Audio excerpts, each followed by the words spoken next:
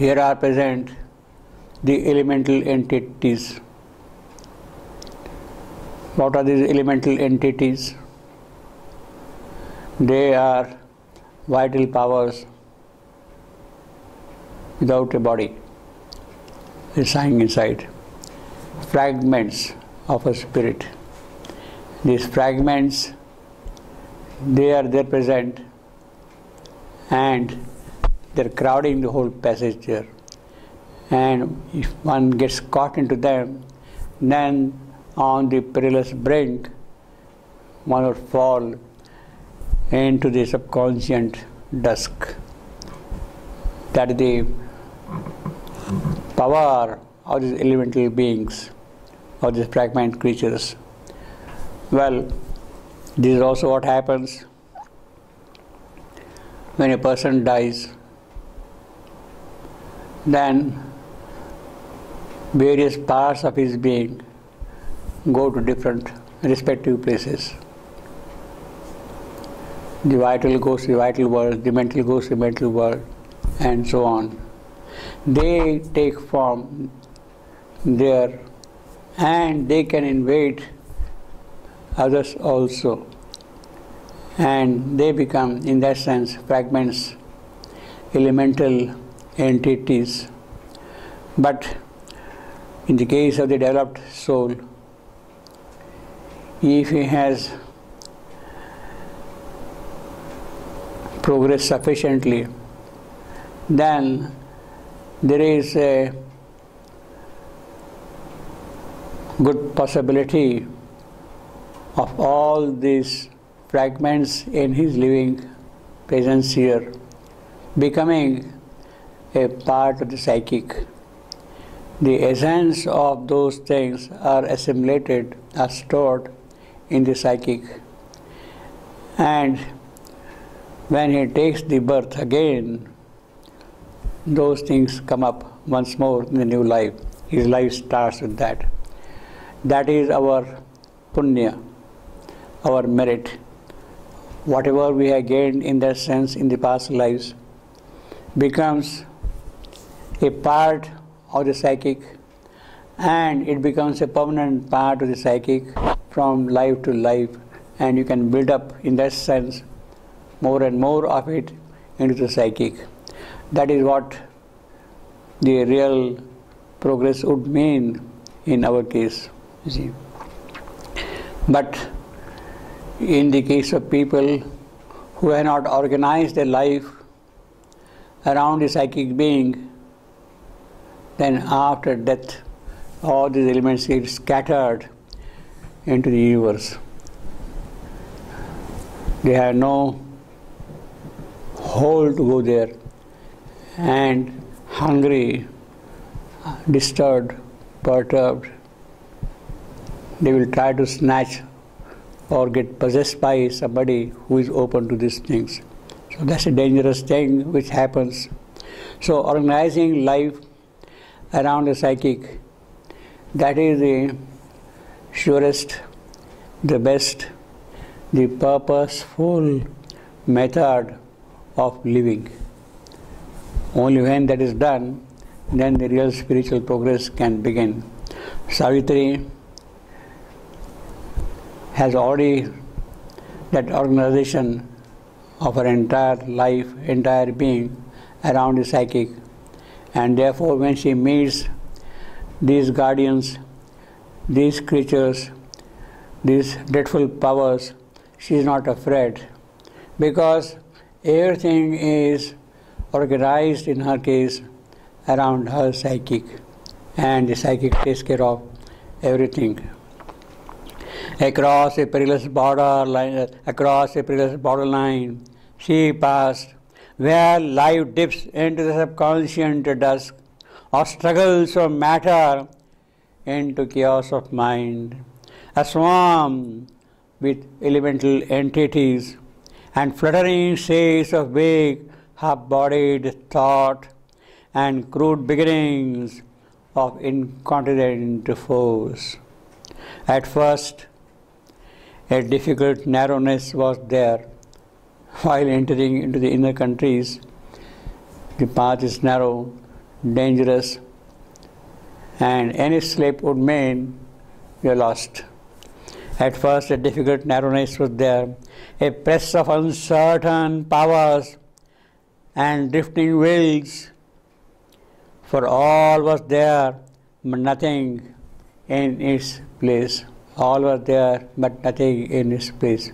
Because they were not organized around any divine center, around any divine spark, around the psychic. When they are not organized around the psychic, they get scattered and they play mischief, they play havoc, they become terrifying. For all was there, but nothing in its place. At times an opening came, a door was forced. She crossed through spaces of a secret cell and trod in passages. She is passing through the process of inner time. What is that inner time?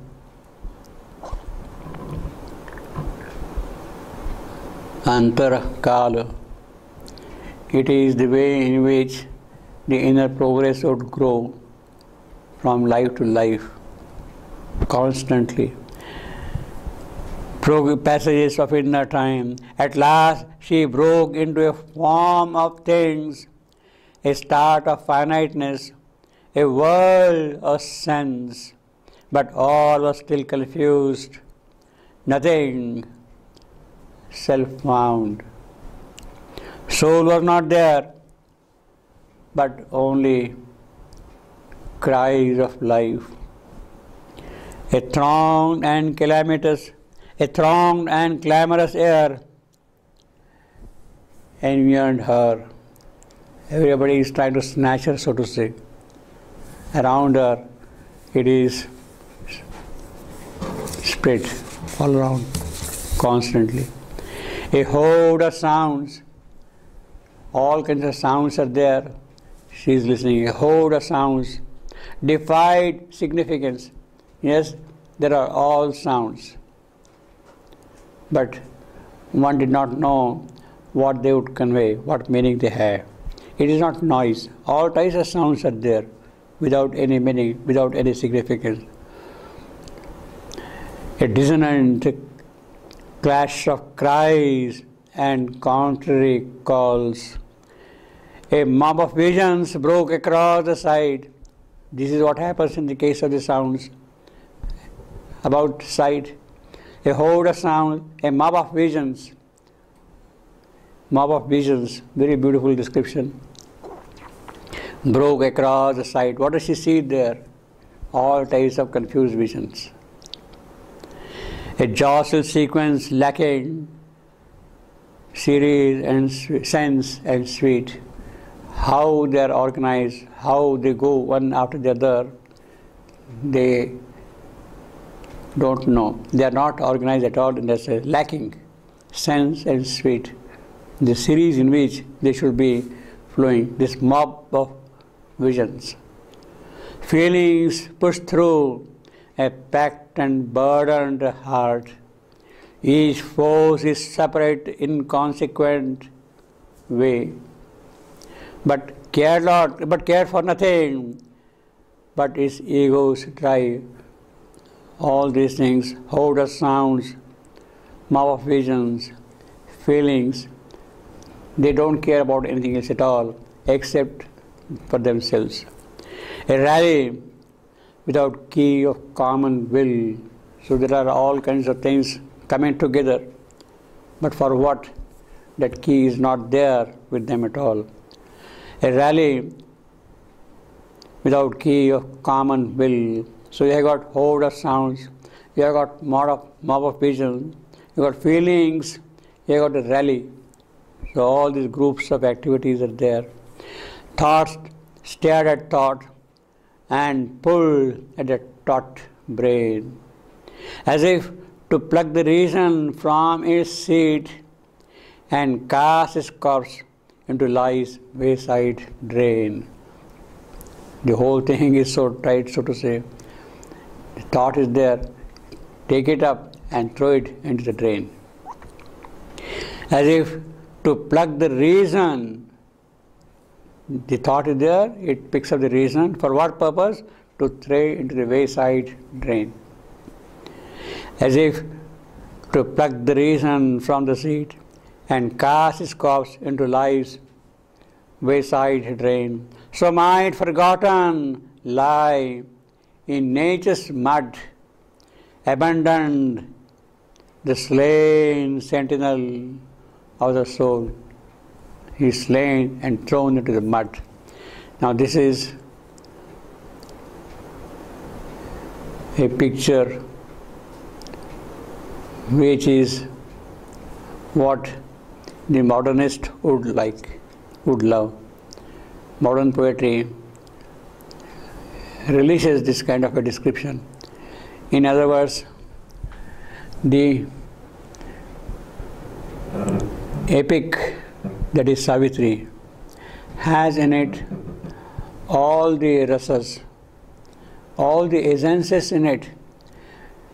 It will describe the beautiful, sweet, harmonious, lofty.